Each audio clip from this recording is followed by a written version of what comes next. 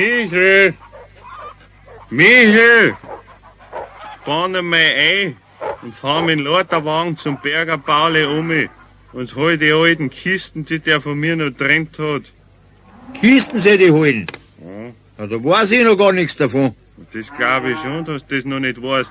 Drum sage ich das ja. Ja, weiß das der Berger Pauli, dass ich die Kisten holen soll? Woher soll denn der das wissen?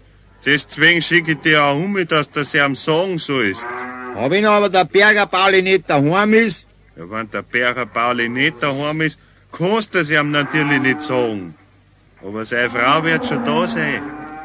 soll ich dann die Frau Berger, soll ich der Frau Berger noch sagen? Ja, freilich. Ja, die Frau wird halt auch nicht wissen, wo die Kisten sind. Das weiß ich natürlich auch nicht, ob die das weiß. Was soll ich noch tun, wenn's die auch nicht weiß? Das weiß ich auch nicht. Du musst halt warten, bis der Berger Pauli kommt. Wenn aber der Berger Pauli nicht kommt, soll ich dann seine Frau fragen, wie lange ich warten soll. Fragen kannst ja. Einmal, es ist besser, ich fahr morgen um mich. Da ist der Pauli vielleicht sicherer daheim als wir heute. Gerät doch nicht so saudumm daher. Morgen, morgen ist er vielleicht noch weniger daheim als wir heute. Jetzt, jetzt kenne ich mich nicht mehr aus. Soll ich heute fahren oder morgen? Einspannen tust jetzt.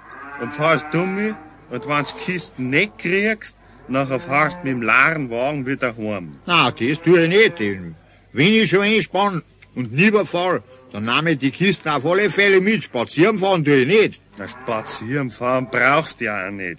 Denn wenn der Berger Pauli oder seine Frau daheim ist, nachher kriegst du ja die Kisten. Denn die Kisten gehört ja mei. Weißt was, Bauer? Ich spann nicht ein, ich geh jetzt erst persönlich um mit zum Bergerball und fragen, ob er daheim ist. Sagt er ja, dann geh ich heim, spann ein, fahr um mich und hol Kisten. Das ist ganz verkehrt. Denn wenn's schon rübergehst, nachher kannst du ja auch gleich rüberfahren. Denn wenn der Pauli daheim ist, kriegst du ja die Kisten. Nachher stehst da und hast keinen Wagen und tragen kannst du die großen Kisten auch nicht. Ja, ja, da hast du schon recht, Bauer. Aber wie gesagt, der Pauli kann ja auch nicht daheim sein, was nachher? Ganz einfach.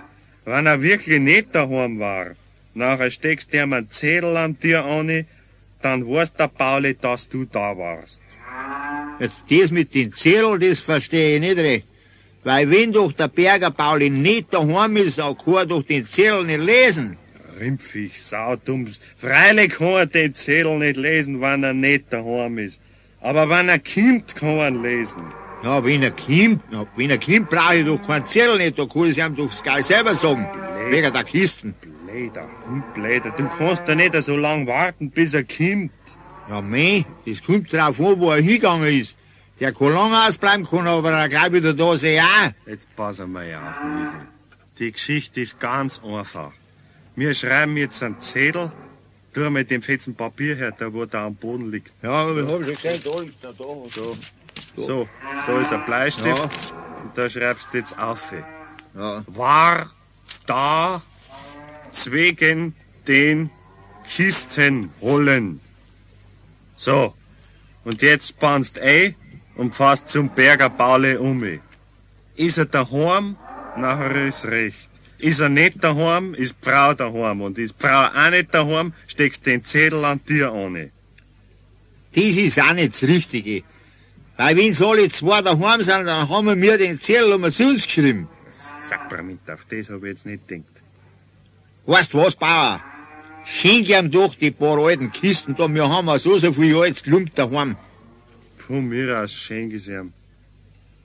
Ja, und den Zettel? Den zerreißen wir.